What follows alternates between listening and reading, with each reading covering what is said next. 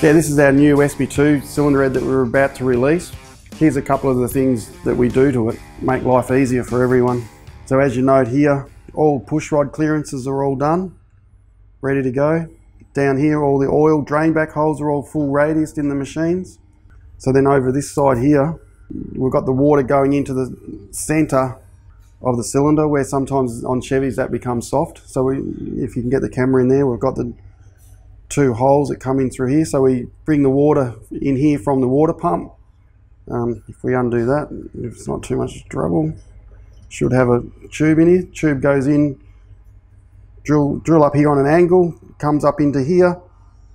Got the two holes that get drilled through here, go meet it here. So obviously the tube goes in there. So line comes from your water pump in here, pumps through here and out through the two holes to keep this section here cool. Uh, it's a big problem with um, a lot of Chevys with the two exhaust ports through here. So this is a job we do here, like before you buy heads, so you don't have to send it out to get done. It's already done for you. Same as like we do with the push rods. Push rod clearance is all done through here.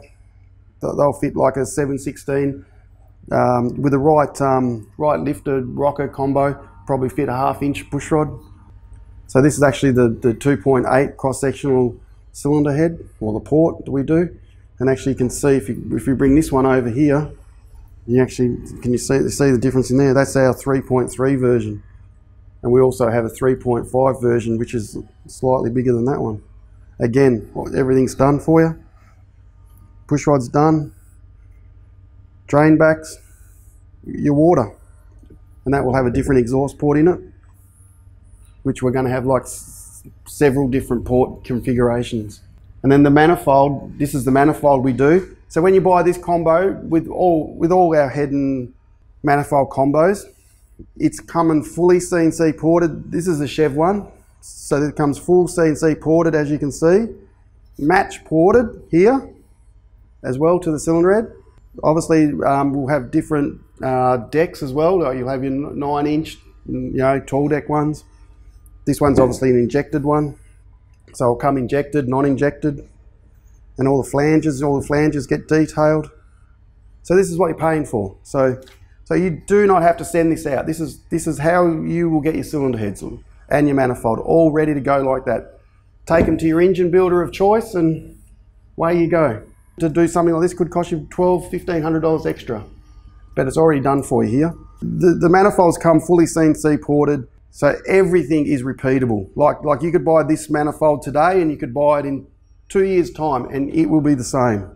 We don't rely on the casting to be for our accuracy. We, we rely on the CNC machines for our accuracy. And this one here we have here's our Ford manifold for our Cleveland heads. Again, CNC ported through here. Doesn't touch the floor in this one. All this is done, all CNC. Matched up here as well. All port matched. Bit of lightning done for you guys. Again, take this to a, um, a head porter, you know, manifold man, he'd probably charge you, I don't know, maybe thousand bucks to do something like that. So it comes finished with the Ford heads. Actually, here's our Ford head here. This one's done for a turbo. It's got the ch chamber softening we do for the turbos. Another thing um, we do again here, we do push rod clearances again. All done, ready to go. A couple of other little things again. Oil drain back holes are done. This is, this is our new version with our um, rocker rails are, are fully um, from, run from one end of the head to the other end of the head. They join into the manifold face here just for, this is, this is done just for super rigidity of the uh, rocker system. You must have this top end of your head rigid as possible with, with, um, with these engines.